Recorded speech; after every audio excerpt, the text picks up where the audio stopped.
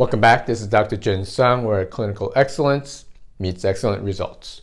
Today, we're going to talk about a very important lab marker, which is often missed in routine blood work. And this lab marker is called homocysteine, and it's important for B vitamin deficiencies. It's an indicator of a B vitamin deficiency or issues with genetics. So let's go right into it. Homocysteine, the forgotten lab marker for B vitamin deficiency. Homocysteine is an amino acid which occurs in the body as a intermediate between methionine and cysteine. So what is methionine? Methionine is an is a essential amino acid and is sulfur rich. Cysteine is needed to make glutathione. So you take methionine, which is an essential amino acid, and it has to go from methionine to cysteine, and the intermediary is homocysteine. So you need B vitamins to convert this from methionine down to homocysteine down to cysteine.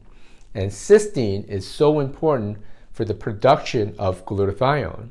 And as you know, glutathione is a very potent antioxidant and it's also involved in detoxification. So it's a very crucial amino acid that we need. B vitamins, which we want is folate, B, B6, B12, right? Because that is involved in the breakdown of homocysteine to cysteine. Why is homocysteine such an important marker?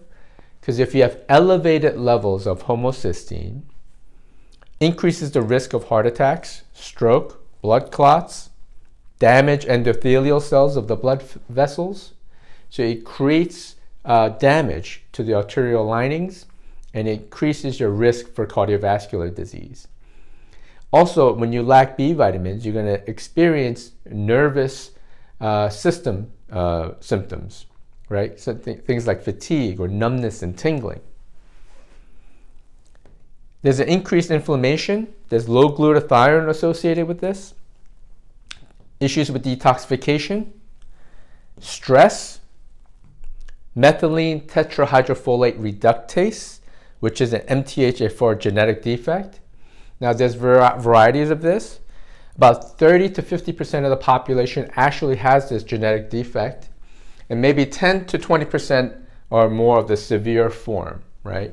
So when you look at it, there's something called homozygous when you have two sets of uh, the same genes, or heterozygous when you have one set. Essentially, MTHFR is very, very common in the population. But why do some people have uh, issues with B vitamins or homocysteine when other people do not?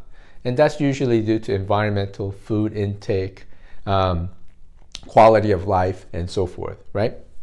So when we look at homocysteine, the lab marker we're looking for is actually called homocysteine. And usually they range from zero up to like 15. I've never seen anybody with zero. Um, but I've seen people above 15 uh, easily. And what you want to do is shoot for is ideally just around seven uh, on the lab markers, okay? So some of the symptoms related to high homocysteine is pale skin because if you lack B12, sometimes you can create an anemia. So you can have pale skin, obviously fatigue, weakness in the muscles, twitching of the eyelids, Depression can be associated with it. Numbness and tingling. Okay. Classic example is a alcoholic, someone who drinks a lot of alcohol because they're not eating food for calories sometimes. They'll deplete their B12 and B6 and B9 and they will develop numbness and tingling and they'll have balance disorders because it affects the alcohol affects the cerebellum but b vitamins are also necessary for uh, central nervous and peripheral nervous system uh, function. So numbness and tingling is one of those things. Diet, what you want to do is increase cruciferous vegetables, spinach, kale, lentils, etc. Let's get to the important part, supplementation. What we need is methyl donors, right? You need to methylate in order to convert. So uh, when we look at supplementation, we don't just look at um, folate, B6, and B12, one, we want the proper forms of those uh, nutrients because folic acid really is junk. You don't want to have folic acid. So if you look at your multivitamin and instead of folate uh, or some other form of B9 and has folic acid, really it's, it's junk. Just throw it out. Okay. Supplements. You need choline, trimethylglycine, SAMe, vitamin C and E, riboflavin, B6 in the form of P5P. You need folate, and some genetic defect people will need L5-methyl trans, transdrolfolate. B12 is methylcobalamin, right? Magnesium and MSM. These are all different cofactors for B6, B9, and B12.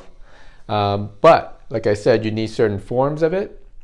Now, when you get look into genetics of this, of the methyl, uh, methylene tetrahydrofolate reductase issue, there, it's much more complicated. Uh, you can probably do like, you know, a, a whole month lecture just on genetic defects. So if you're interested in that, I would suggest looking up Ben Lynch. Uh, he does, did a lot of work on methylation, and he has a book called Dirty Genes, uh, looking at different uh, genetic defects that can create issue with methylation. Okay, so in a nutshell, what you need to do is check your homocysteine on your lab because you need to figure out if you have issues with B12, B6, B9. Uh, oftentimes, like the serum B12, uh, is really not a true indication of uh, uh need or in, uh, indication of um, uh, having too much. So you need to check homocysteine and you need to check things like uh, methylmalonic acid in order to see if you have B12 deficiencies. But in a nutshell, diet is very important, but supplementation is also very important, especially if you have elevated levels of homocysteine above, let's say, 10. Uh, anything above 10, uh, I'm worried about that patient. Okay? My name is Dr. Jin Sung, where clinical excellence meets excellent results. And we'll see you guys next week on the healthy side. Have an awesome day.